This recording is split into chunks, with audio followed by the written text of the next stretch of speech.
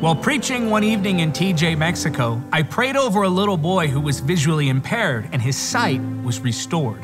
Jesus healed him.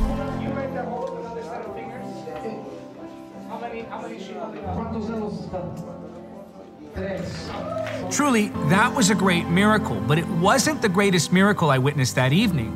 Later in that service, when I shared the gospel of salvation, that little boy's father gave his life to Christ.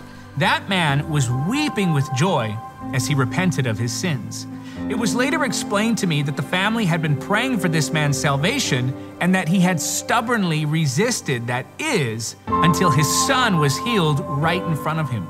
Salvation is the greatest miracle, and sometimes God will use other miracles to aid you in your sharing of the gospel.